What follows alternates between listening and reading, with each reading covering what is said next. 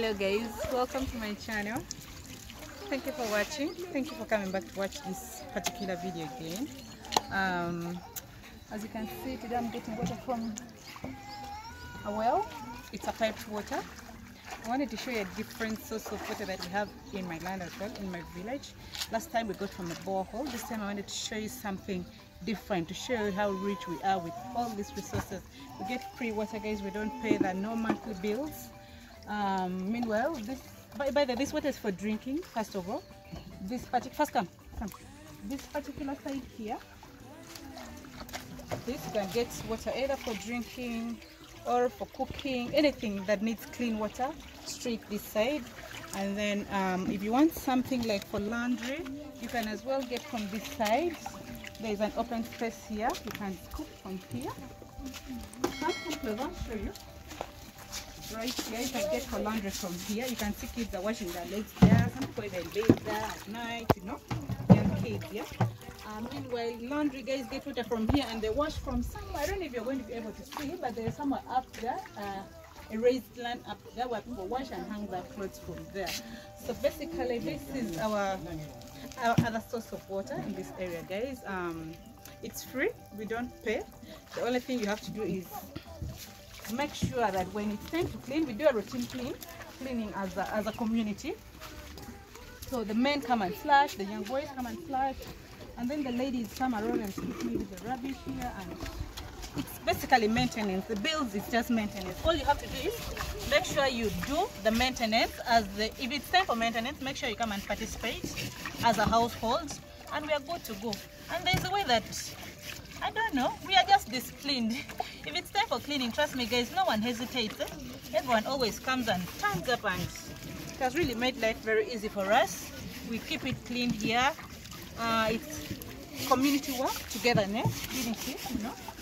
So there's nothing like somebody does not clean, so you're not going to get water. It always happens, and it's like it's natural. Everyone comes around and cleans. So, and by the way, guys, talking about distance, uh, yeah, for particularly personally, it is a bit far from my place, but the people who stay around here, and they get as well. But even if you stay from far, for as long as you do the maintenance, you come and clean, it's okay. No one is going to stop you from fetching. But if you stay up to, I don't know which, a different village, for as long as you come and participate in cleaning, mm -mm, they will not stop you from fetching. You'll fetch freely. The only thing is make sure if it's time for cleaning, come and clean. And then, yeah, basically, that is just it. So for us, we always come and do laundry here, carry clothes from home, come and wash them from here. We sit somewhere up there, uphill, wait for them to dry from there. So basically you only go back home with clean clothes ready to, to put on because we don't do a lot of iron. you just get when it's dry and then you just wear like that.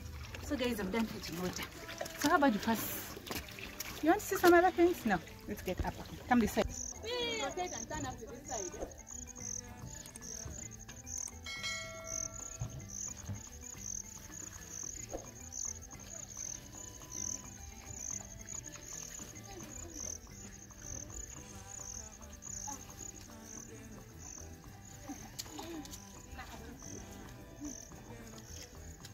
And guys, this right here, I'm pretty sure you're wondering why I plucked it along the way when I was carving. I'm going to use this to make something that my jerry can is going to sit on before I put it on my head. Guys, in the village, the thing is you have to improvise. There's nothing that is useless in our community. Everything that you see is used for something, at least. Like this, basically, yes, generally everyone knows these are feeds for animals, but as a woman in a village, you guys, you have to be very creative. You have to look for a way of using something more than once, more than twice. I've just improvised something because I didn't carry a cloth that I would probably fold and put on my head. I've just improvised something now. And this is what I'm going to use for carrying my jerry can right on my head, guys. Okay. So here we go.